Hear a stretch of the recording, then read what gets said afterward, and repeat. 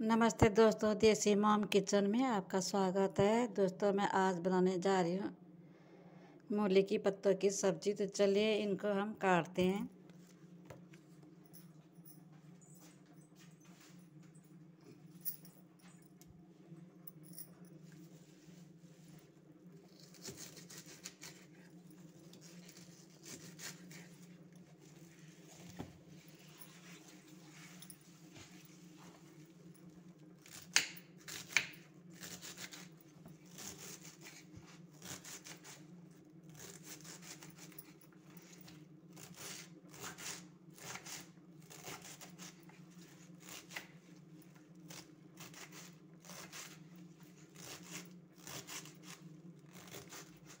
इसी तरह से अभी हम सारी मूली काटते हैं।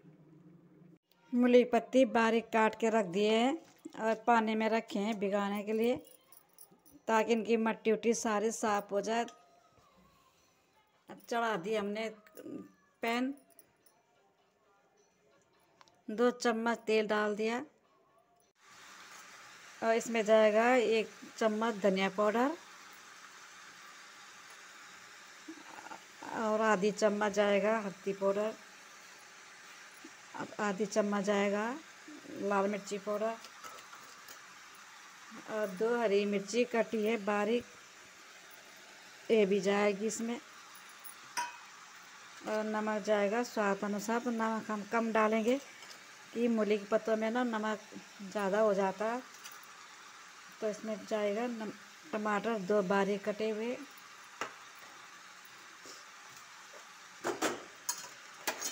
अब मूली को हम अच्छे से मिला देते हैं सारे मसाले।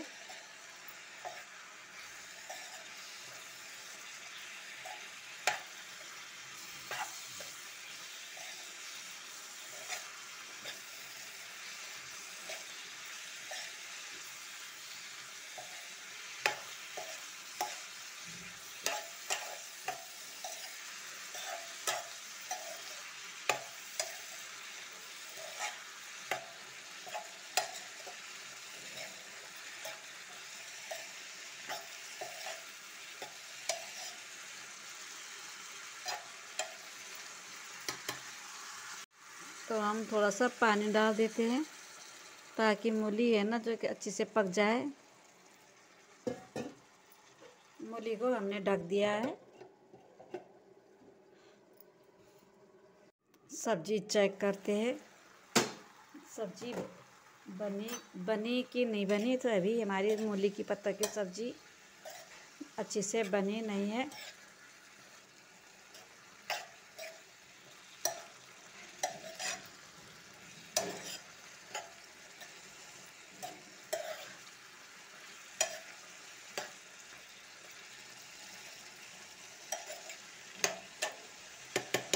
अभी पाँच मिनट के लिए ढक के रख देते हैं, ताकि अच्छी से हमारे मूली पत्ते बन जाए।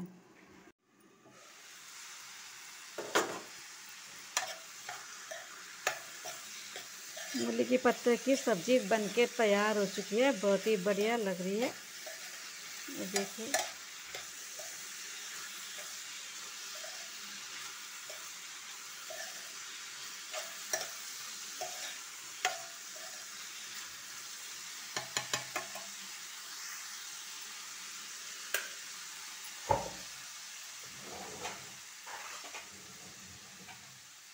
हम इस हम मूली पत्ते एक प्लेट में निकाल लेते हैं।